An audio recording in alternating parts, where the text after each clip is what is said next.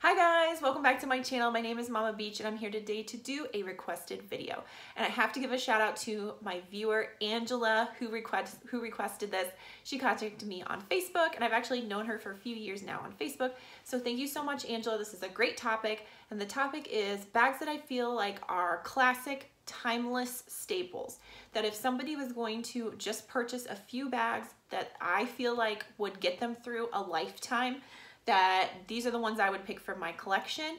And I tried to pick a variety of brands and price ranges, but these are really truly in my heart what I feel like are classic timeless bags that are worth the investment and will last you forever. So the very first one on this list is of course how I started out as a handbag collector and YouTuber, and that is a Bourke Florentine satchel.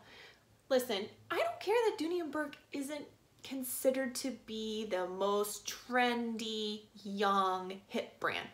Do you know why? Because that's not what this video is about. This video is about timeless, classic elegance that will last the test of time and is so high quality, it's worth the investment. And this fits all of those criteria. Bourke Florentine leather is just unparalleled. You cannot get better leather anywhere else from any other handbag brand. I am sorry. I do love Coach Glove Tan Leather. It's great.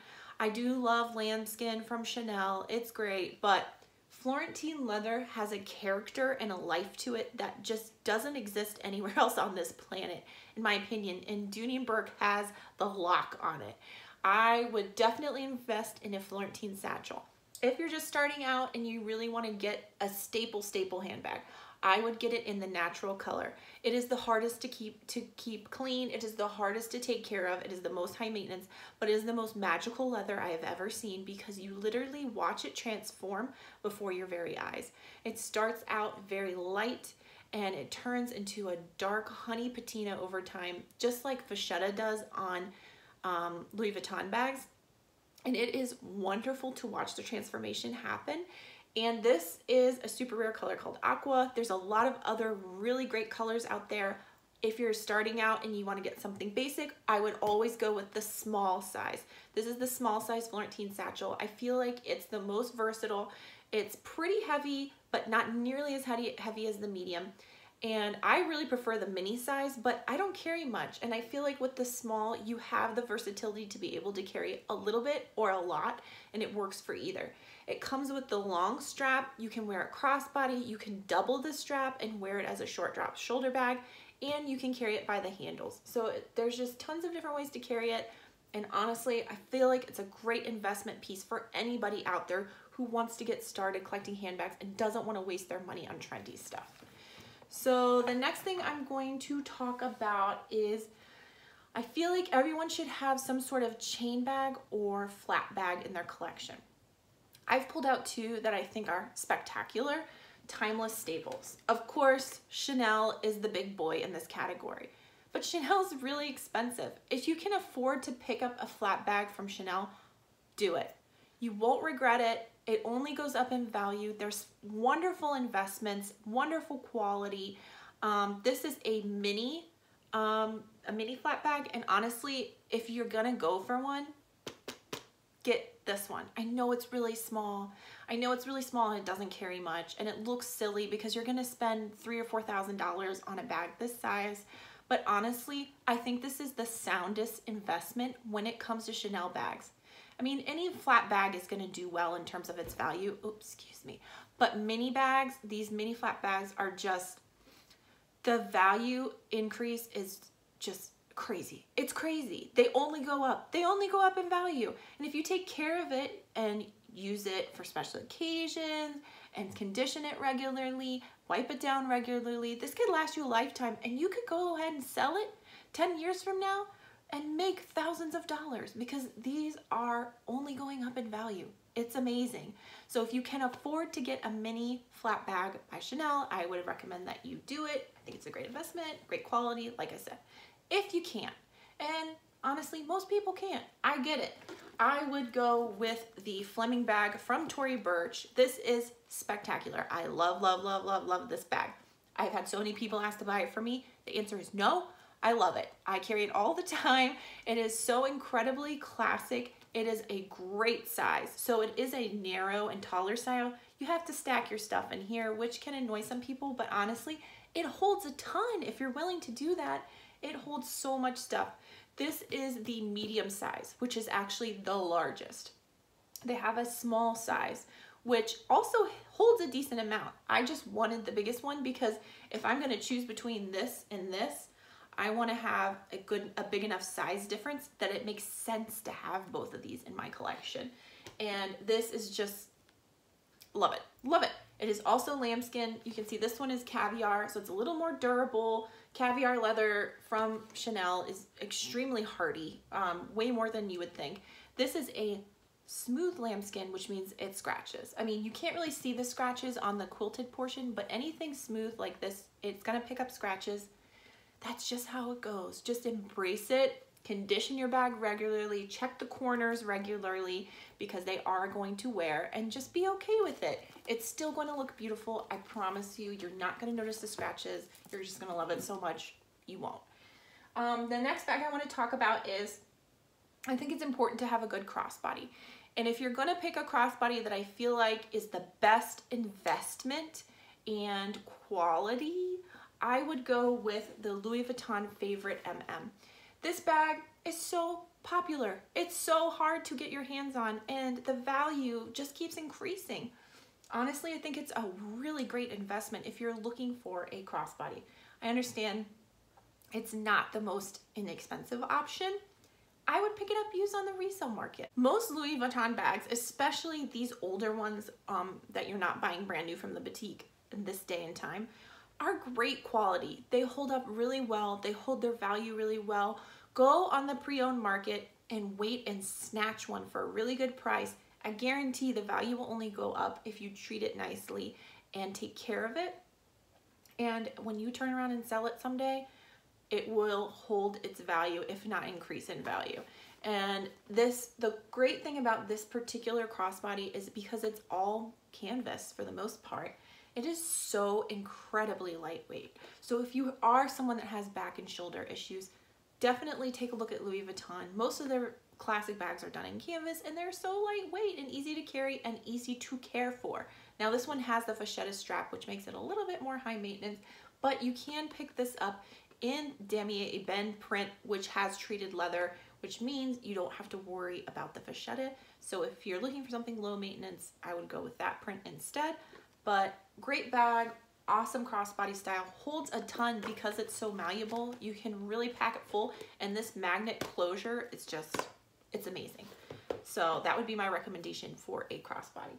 The next one I want to talk about is kind of redundant. I mean, it's kind of like the Florentine satchel of the coach world, right? But I have to put it on this list because I feel like it is so classic and it is a great investment, and that is a Rogue satchel. If you're just starting out and you wanna go with something basic, once again, I would go with the 30 slash 31 size. Um, they have smaller sizes. They have a 17, which is itty bitty. They have a 25, which I actually prefer because it's lighter weight, but you can't hold as much in it. They have a 36, which is bigger than this, and they have a 39.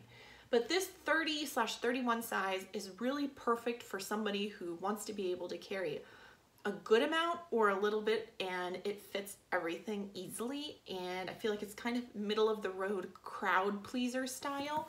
Now this one is a made to order order specialty rogue which is why it has all these crazy colors but you can get them in all sorts of basic shades black red brown it's just you can get pretty much any color you want in one of these bags and once again, like the Florentine satchel, the leather quality is really amazing.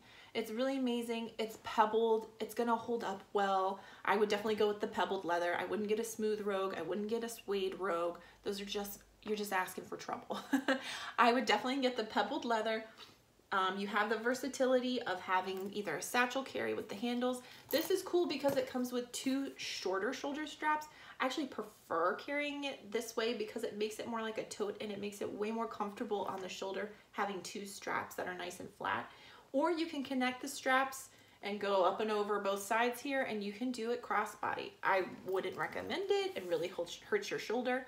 You can get a novelty strap that's thicker if you want to wear it crossbody. That's what I would recommend because it will hold the weight more. also a very heavy bag, but that's because you're getting the quality here. And that's really what you're paying for. And that's why you want to invest in bags like these. You can see the whole thing has a suede interior, which is just amazing. It's definitely luxury quality without the huge luxury price tag. Now you can go pay a $1,000 for a Rogue, but I wouldn't. I'd go on the resale market again. Pick up something basic, pick, it some, pick up something at a great price, and I guarantee you when you go to sell it down the road, it will hold its value and you will love carrying it every second that you carry it. The last bag on my list, I know, I, I thought about it for a while, but I feel like I have to include it because it is so classic and timeless and so popular for so many years and that is a Louis Vuitton Neverfull. Now, a lot of people don't like Neverfulls. I happen to like them. Yes, the straps are short. Yes, the straps are narrow. But honestly, they're such a practical bag. If you're just starting out, I would get an MM. MM is the medium size. They have a PM, which is actually right there, and they have a GM, which is even larger. So yes, if you're someone who doesn't carry much, maybe you look at the PM or the GM. But if you're trying to get a crowd pleaser that you think is gonna not only please yourself in terms of what you can hold in it, but also when you think about resale, what most people are gonna want is kind of the middle of the road bag. So it's gonna hold its value extremely well. Way better than the PM. And I think the GM holds its value pretty well because a lot of people really like the big size, but MM is really classic. This is in the monogram print, so you have to worry about the vachetta a little bit. It's high maintenance. But like I said, you can get it, like I said about this guy, you can get it in the Damier Ebene print, which is very low maintenance and pretty much worry-free because all the leather's treated. And then you have the canvas, which is super durable. And once again, lightweight. So you can really pack this puppy full and it's not gonna feel as heavy on your shoulder as a really um, thick leather tote, kind of like that Longchamp, which I almost included on this list because I love that tote, but I just feel like it's not as classic as a Neverfull MM. So if you're gonna go with a tote and you have the money to spend, go pick this up on the resale market. You can get them with kind of beat up condition like this one I have here for like $500 maybe or maybe less. And honestly, when you look at the pictures and see the condition, you're gonna go, oh gosh, there's stains, the vachetta's dark, but when you actually get it and start using it and realize you don't have to baby it because it's not perfect, it's really a blessing. So if you can push past that and get something that maybe has a couple of issues for cheap, then I feel like you don't need to worry about it as much. And honestly, it will still hold its value because it is so popular. Alright guys, thank you so much for watching this video today. If you have any suggestions for bags that you think are classic and timeless staples, I would love to read them below in the comment section. And honestly, I feel like this kind of makes a great tag video. So anybody out there who's watching this that is a YouTuber, please go ahead and do it as a tag. I don't know, let's call the tag classic timeless staples that, you know, are in your collection that you feel like people should invest in. I think I think people want to know this that aren't collecting gobs of handbags like a lot of us here on YouTube and they just want to buy a few staples. I think it's valuable knowledge for all for us that have tons and have used them. What do we think? What's out there that people really should invest their money in? So if you're a YouTuber, feel free to do this video as well as a tag and tag other people. And as always, if you haven't subscribed, I hope that you will. I do lots of videos like this and, and also like unboxings, reviews, comparisons, all that kind of stuff. So if you love handbags like I do, please join my channel. I know you'll love it. Alright, I'll see you guys on my next one. Bye.